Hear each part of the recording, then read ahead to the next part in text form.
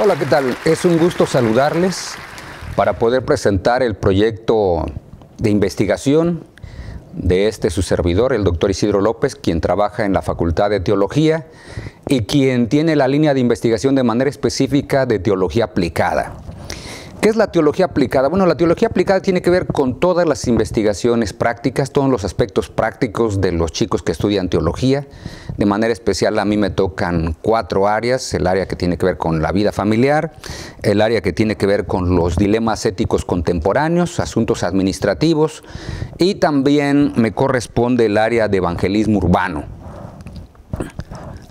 Hay varios proyectos en los cuales los chicos han estado trabajando y que he estado trabajando también con ellos, sobre todo los estudiantes de cuarto año, quienes están terminando sus tesis y les hemos asesorado sin ningún problema. Pero hay una investigación de manera específica que quisiera presentarles ahora que tiene que ver con las cualidades que los jóvenes y señoritas de la Universidad de Montemorelos buscan en las personas del sexo complementario. Ahora, ¿por qué esta investigación? Porque hay muchas personas que han investigado cuáles son las cualidades y no sabemos si sean las mismas cualidades que los muchachos de la universidad con una preparación académica muy especial también pretenden que tengan las personas del sexo complementario con las cuales se relacionen. En primer lugar, para poder establecer una amistad sólida, eso es lo primero. Segundo, para poder iniciar un noviazgo que pueda ser de provecho y finalmente que ese noviazgo les pueda, les pueda conducir a un matrimonio que sea sólido. Así que nosotros tenemos que recordar ahora, las cualidades que buscan los muchachos del siglo XXI de la Universidad de Montemorelos, adventistas del séptimo día, son las mismas que buscaban los jóvenes en el siglo XX o en el siglo XIX. Eh, en primer lugar, tenemos que recordar que en el siglo XIX muchas de las investigaciones que se hacían o mucho de lo que se pedía es que la mujer fuera experta en todas las labores del hogar. Ella básicamente se esperaba que permaneciera en casa y cuando salió de casa se esperaba que siguiera realizando exactamente las mismas actividades, además del trabajo que estaba produciendo ahora, que llegando a casa se encargara exactamente de lo mismo, lavar la losa, lavar los, eh, la ropa, eh, tender las camas y sobre todo que cocinara bastante bien. Eran parte de las cualidades que en aquellos días se, buscaran, se buscaban. ¿Será que los muchachos de este siglo XXI buscan las mismas cualidades o han cambiado? Bueno, la investigación justamente pretende, en primer lugar, conocer cuáles son las cualidades que los estudiantes de la Universidad de Montemorelos desean que tenga la persona con la cual pueda iniciar una, pueda realizar una, una, relación estrecha de amistad, que conduzca a un noviazgo que pueda ser serio y que al final coadyuve en un matrimonio que sea bastante sólido.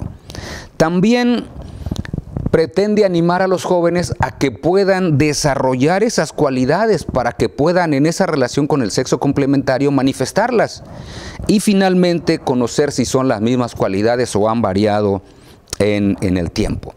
¿Cuál es la metodología que esperamos? Bueno, elaborar un instrumento, ya se logró un primer instrumento para recolectar los datos de una manera anónima con los estudiantes de la universidad y los estudiantes deberían elegir entre un listado de 77 cualidades cuáles eran las 10 más importantes que ellos querían que la persona del sexo complementario pudiera tener. Es decir, una chica, cuáles son las cualidades que espera que un joven tenga o un joven, cuáles son las cualidades que espera que la jovencita tenga. Se hizo una muestra de más o menos 398 estudiantes de diversas facultades de la institución, en las cuales participaron 239 mujeres y 154 varones.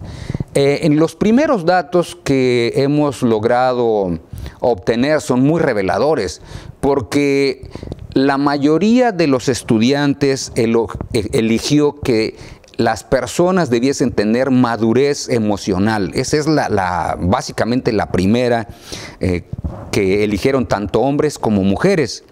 Y es curioso que de los varones nadie eligió como primera opción o como dentro de las 10 opciones que sepa cocinar. Así que llama mucho la atención, parece que no son, no son las mismas que se buscan. Entonces, ¿qué es lo que pretendemos con esto? Pues dar a conocer los datos para que los jóvenes justamente se puedan preparar en esto. Y hay otra investigación que se desprende de esta misma, que está en curso, está, está trabajando justamente con el instrumento de medición, donde se han agrupado todas esas diversas cualidades en seis de ellas, cualidades físicas, cualidades emocionales, cualidades sociales, cualidades financieras, cualidades espirituales y cualidades intelectuales. El instrumento también ya se ha preparado, solamente falta la validación. Y esperamos que justamente algunos de los estudiantes de la institución que quieran participar de este proyecto se unan justamente al mismo. También se han terminado otros proyectos, dos de ellos muy importantes y que son de gran utilidad para todos. Un proyecto de investigación sobre el concepto o la actitud de los jóvenes hacia la eutanasia y otro que tenía que ver con la reinserción de los jóvenes que se van como misioneros de aquí de la Universidad de Montemorelos y cuando regresa, qué tan fácil es que se puedan reinsertar otra vez en las actividades de la institución. Espero que todos los que quieran unirse se unan y que sigan justamente adelante con todos sus trabajos.